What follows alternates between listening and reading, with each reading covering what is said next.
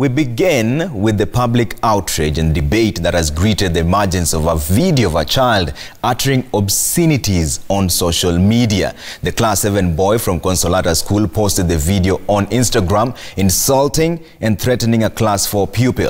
Raquel Muigais will be reporting on the shocking incident that has put parents on the spot. Watch. Hi guys, I'm on the roof of my penthouse and so I have tea for you. Perched on an identified rooftop and donning Consolata school uniform, the boy said to be in class 7 spewed his rants using unprintable expletives against a fellow pupil, a standard 4 girl who he alleged had referred to him as being gay. She was just looking at us the way you look at her badly and Social media was awash with reactions, some bashing the young boy for his foul language and threats to the girl.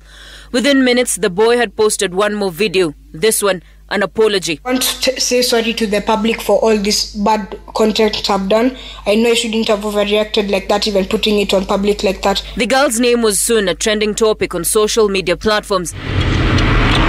Reports suggested the police officers attached to the children's department visited Consolata School early morning following the boy's threats. The school declined to comment on the video or the status of the boy, but the incident has opened a window into the dark secrets of the activities of children on social media. Psychologists say the children are crying out for help. If all children were monitored, even if they are given these gadgets, and you're there with them as a reflective parent, I say, the problem is you've allowed them and you're an absentee parent.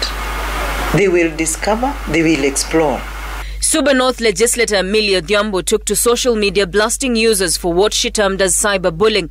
While asking them to refrain from sharing the young boy's video, the outspoken legislator said in part, he is still evolving. With proper guidance, he will turn out right. If you're a parent, be sensitive.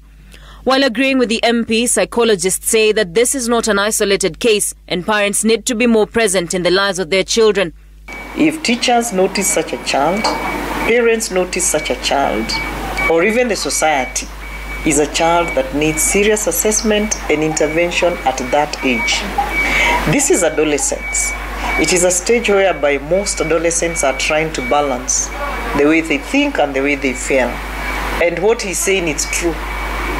We only need to watch and see how he graduates to the next level.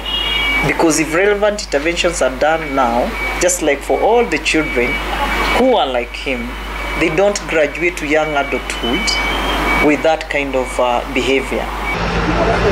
The Director of Criminal Investigations, George Kinoti, has told Citizen TV this evening that they will not be pursuing any criminal case against the boy, saying he needs more parental and school counseling.